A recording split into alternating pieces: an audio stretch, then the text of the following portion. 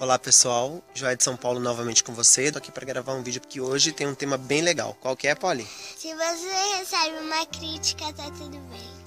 Nós somos seres marcados pela falta.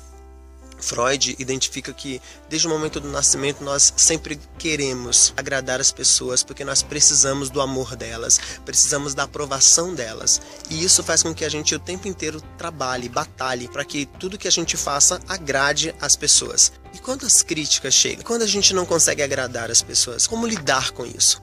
Quando eu estava me preparando para gravar vídeos aqui no YouTube e no Facebook e gerar textos, eu fui procurar alguns amigos e verificar como as pessoas lidam com críticas, até porque eu sabia que isso logo chegaria e que eu não sou das pessoas que melhor lidam com crítica, provavelmente ninguém, mas posso falar agora de mim. E eu fui ver, tanto no meio secular, quanto no meio religioso, quanto no meio empresarial, de empreendedorismo, etc. E eu descobri alguma coisa importante. A primeira delas é que todas as pessoas que, que postam, que falam, colocam alguma opinião, são criticadas. Só não é criticado quem não fala nada, quem não faz nada. E eu entendi que se eu não quiser ser criticado, eu não devo fazer nada. Eu então comecei a ver como que as pessoas lidavam com isso. E eu percebi que quanto mais elas precisavam de amor, mais elas tinham a necessidade de reagir às críticas. Por outro lado, quanto mais elas estivessem preparadas, menos elas reagiriam. Eu preciso trabalhar comigo mesmo. Segunda coisa é, se as pessoas se incomodam com o que eu falo, com o que eu escrevo, isso é um problema delas. Se eu falei alguma coisa, se eu postei alguma coisa que incomodou alguém, não é um problema meu, é um problema da pessoa e ela que vai ter que resolver isso consigo mesma de alguma forma. Uma coisa que eu falei tocou nela, mexeu com ela e ela vai ter que se resolver. Agora, se porventura eu me incomodo com a crítica dessa pessoa, aí o problema passa a ser meu. E aqui está a questão. Se porventura as pessoas se incomodaram com o que eu digo e eu me incomodei com o incômodo delas, aí eu preciso parar e perguntar para mim mesmo,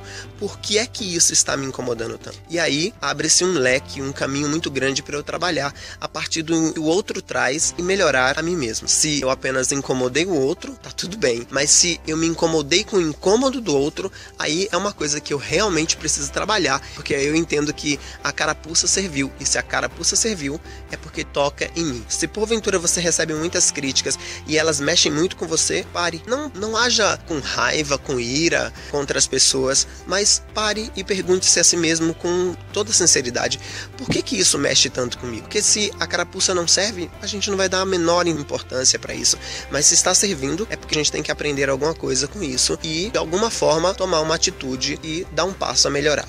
Essa é a minha dica de hoje. Se você tem recebido muitas críticas ou conhece muita gente que está incomodado demais com as críticas, acho que vale a pena você compartilhar esse vídeo. Então, além de curtir a nossa página aqui no Facebook, Minha Dracma Perdida, também no YouTube, o nosso canal, você pode compartilhar. Não faça isso se faz sentido para você esse nosso conteúdo de hoje, essa nossa sacada e a gente se vê em breve. Grande abraço e mais uma vez, se você recebe uma crítica,